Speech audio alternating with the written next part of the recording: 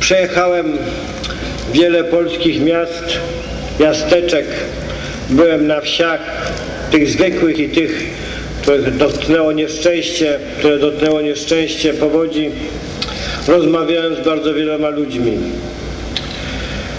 Nieprzypadkowo kończę tutaj, kończę w Gdańsku, tej stolicy polskiej wolności, bo być stolicą Solidarności to znaczy także być stolicą wolności.